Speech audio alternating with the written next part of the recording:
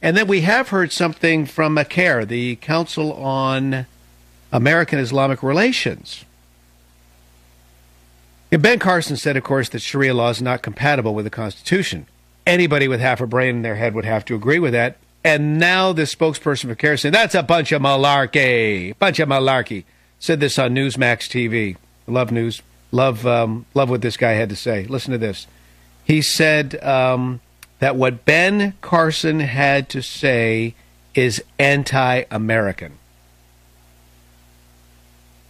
Anti American. Let's go to the lines. Rick, quickly, WABC, you're on the air. Thanks for calling. Quickly, please. Yeah, hi, Brian. Uh, if you understood what you just said, then there's no reason for this phone call. But I, I'm just, I was kind of upset that everybody's saying, like you said earlier, uh, Ben Carson do- doubled down on it. Ben Carson said nothing wrong. He said in the beginning of his speech, if you listen carefully to the entire speech, Mm-hmm. that the presidency or political office was open to all faiths and religions Shinto, Muslim, Christian, Jew, didn't matter. Mm-hmm. But when he was asked specifically, can a Muslim become president? Well, if they're using that title, they're not talking about somebody that reads the Quran at night in his room. They're talking somebody who's a practicing Muslim. And you cannot become president because you cannot put anything above the dictates that are in the Quran. When, when you're president, you have to take an oath to put the Constitution above everything else. Right, and that's why th- for them it would be Sharia first. So if we have a true religious, Sharia-oriented Muslim as president, I got news for you. We are the 58th Islamic State. Thanks for your call. Really do appreciate it. Oh, we got some. Oh, oh, there's one more. I, tons of calls. We'll get to them. But isn't it amazing how this story's been buried by the media? They won't talk about this. Uh, the three Somali Muslim savages charged with beating a Christian man to death in Portland, Maine. Maybe some of you have never even heard this, but we'll get to that. Got a lot of examples of how, of why I should say, people are leaving California, where I'm speaking to you from. Crazy California in the news. It is Brian Sussman filling in on this the Savage Nation. In for Michael Savage. This is the Savage Nation. Don't forget michaelsavage.com, the home of the Savage Nation, borders, language, culture. Also, while you're there, please pre order Mike's upcoming blockbuster, Government Zero. Again, everything Savage writes ends up becoming gold. He's, he's an incredible writer, fiction, nonfiction. Government Zero, no borders, no language, no culture. Government Zero. Also, sign up for his newsletter. Comes out several times a week. It's an email blast, gets you up to date on all the latest. The phone number on the Savage Nation. We're going to get to a bunch of calls right now. 855 400 Savage. 855 400 7282.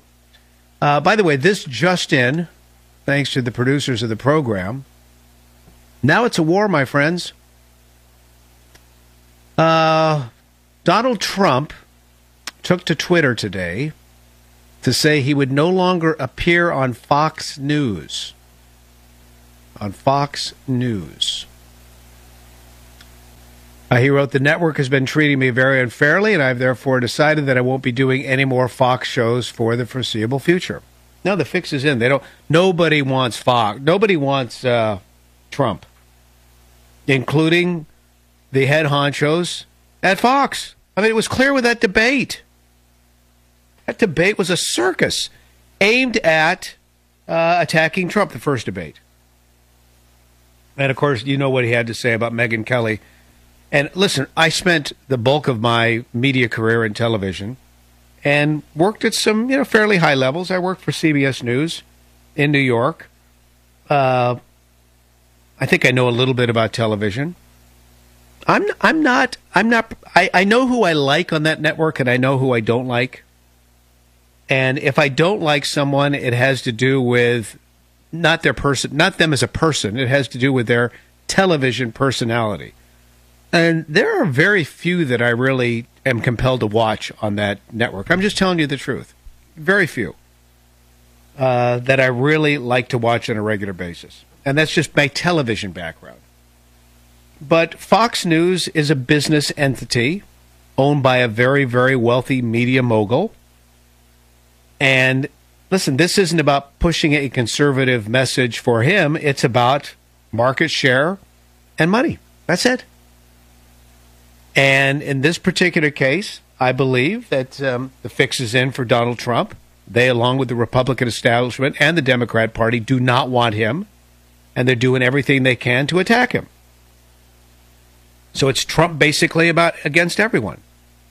Uh, Trump was on. He was he was on uh, the Late Show last night with Colbert. He was hilarious. He was hilarious, and that's what's going to happen anytime Trump takes to the stage. There's an old saying. Marshall McLuhan said this: "The medium is the message."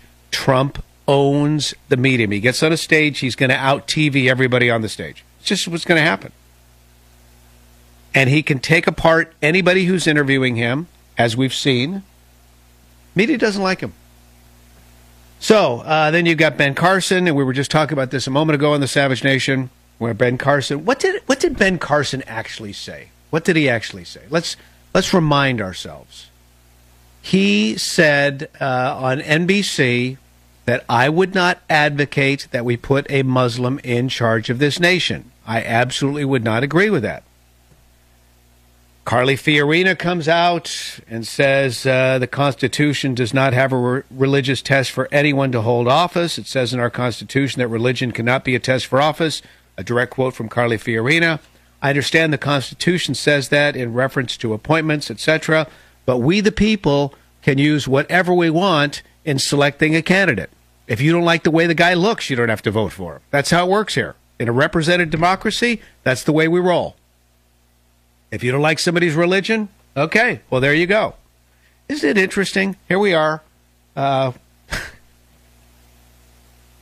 uh, I just remember how the left was pouncing all over Mitt Romney and his Mormonism, right? The duplicity, the hypocrisy. Let's go to John KMAJ in Kansas. John, you're on the Savage Nation. Thanks for checking in. Brian Sussman filling in as host. Hey, good afternoon. Um, I agree completely with what Dr. Carson said. And uh, given his many, many talents and what he's done in his life, you know, and what he said is being taken out of context. And the fact is that a Muslim can run for president in the United States. However, if Dr. Ben Carson was a citizen of a Muslim country, he wouldn't even be allowed on the ballot. Oh, you're right. He would be subjugated to second class citizen at best, or in some uh, Muslim countries these, these days, he'd be a dead man, or he'd be running for his life. Exactly. And, and the fact is, is that no one's saying a word about that, and the silence is deafening. Well, you just said it out of Kansas, and I appreciate it. Thanks for checking in on the Savage Nation. Here is John, WBAP. John, go right ahead. Your comment fits nicely with the last one. You're on the Savage Nation. My wife and I sent a small donation today of a hundred bucks to Dr. Carson. He's the only one that's had the backbone to come out and say what the majority of Americans believe and are thinking. And the sad fact is, I supported Fiorina and a couple of others until they all jumped on Dr. Carson for saying it. But we have decided that we're going to support him, and so this will stop uh, people from calling us a bigot. Uh, he's black, we're white. But we sent him money today because he had the backbone to stand up and say what we believe. And no, I would not put a Muslim in charge of this nation. Thank you. John, thanks for calling out a WBAP on the Savage Nation. Uh, by the way, his his uh, support is going through the roof right now. Ben Carson support is going through the roof. Let's, can I just say something? I, I'm sure there are you know, here's the disclaimer, right? I'm sure, and I've met many Muslim people who are, they're harmless. Really. Uh, they would consider themselves Muslim. But the ones who also consider themselves Muslim and are really, really, really serious about their religion, they scare me. They scare me. I'm just saying, they scare me. That's why all of the Trump and Carson have tapped into something here. We're, we're scared by the religious zealots who claim to be a part of the uh, who are who carry the banner of the religion of peace. We're, we're afraid of them, and they they rely on that and have relied on that throughout history to spread their ideology. You see beheadings right in front of your face, and guess what? Okay, I'll shut up. Just go about your business, please. Just leave me alone. I'll, I'll, what do you want? You want me to wear the burqa? I'll wear the burqa. You want me to get on my knees five times a day to pray? I'll do it. I just I do not want to get my head lopped up. That's that's what we're talking about here. This has been going on for hundreds and hundreds of years. I, I could give you a breakdown, and I will. I promise I will. We'll do it in the next hour. We'll just kind of walk through country by country how these various uh, Muslim countries today became Muslim countries because they weren't always. And it was through absolute barbarism. Let me see here. Uh, here's Vivian, KKOB. Vivian, you're on the Savage Nation. Thank you very much. Brian Sussman filling in. Hey, how are you? Okay, I was going to say, um, where in the world are, are the feminists and the gays and the lesbians to speak up about what's going on? The way the, the Islamic Nazis, whatever you want to call them, the way they treat women and gay people. And I'm an old lesbian myself. But I'd like to know where in the hell are these people to complain about that? Well, you're speaking out, but you're right. There, that that sector of society seems to be strangely quiet about this. Correct, Vivian? Oh, they don't say a thing. And this war on women, that is so stupid. There's no war on women. I know people say that I can't be gay and be a conservative, but I'm very conservative. You know, and I don't hear anybody saying anything about that. But somebody says, "Oh, you know, like that woman that was in jail." I admire her for standing up and saying, "Hey, I'm not going to hand out licenses because it goes against my religion." And then another thing, it also bothers me that the Supreme Court, you know, I'm for gay marriage, but not the way they did it. We are losing our freedom when only a handful of people can make laws for this country. And See, there's Vivian. Vivian, you like to think for yourself. You don't like to be a part of groupthink, and I appreciate you calling here on the Savage Nation. Getting back to this story, just as long as we're we're talking about this, we'll move on to other things. But um, three Somali Muslim savages charged with beating a Christian man to death in Portland, Maine. How many of you are aware of this? This was just awful what happened there. 36 uh, year old guy, 31 year old guy, 23 year old guy. They murdered a Christian guy. And they literally just beat the crap out of him over several hours. He was found on his living room floor next to a blood splattered Bible. Okay, and where were these guys from? Well, they were all refugees from Somali. Okay, there you go. That's that's the missing ingredient. Uh, no, I'm very serious. So, this is what we're talking about on the on the Savage Nation. It's it's a wild time, and then we have the Pope. Where is the audio here, guys? I've got to find it. You had some great audio, and I've lost track of everything. The Pope is uh, okay. Here we go. Here we go. The Pope was talking about, or was it Obama? No, Obama was talking about the Pope and um, not our sacred obligation to the planet. We'll get to that. But he was talking about Cuba, wasn't he? At some point in time, the Pope was talking about Cuba or Obama was talking about Cuba. Oh, okay. So this is Obama talking about the poor and the new beginning with the Cuban people. I got you. This is clip four. Take a listen. Holy Father, we are grateful for your invaluable support of our new beginning with the Cuban people, which holds out the promise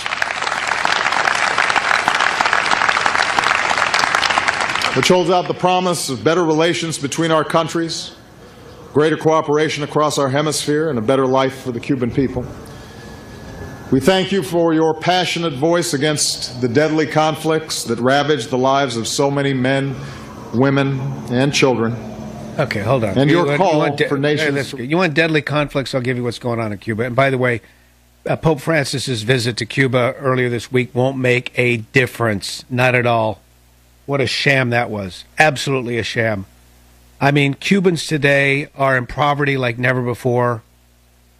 Uh, they're a nation being emptied by the way of its young people. And where are the young people going? Well, they're going 90 miles across the water to Florida. So you got crowds flocking to greet Pope Francis earlier this week in Cuba. I don't know if it was out of faith, curiosity, or maybe even official summons from the communist government. Get out there or else. But you know, the Pope comes, blesses everybody. They've got religious choirs. You saw any of the pictures of uh, Cuba?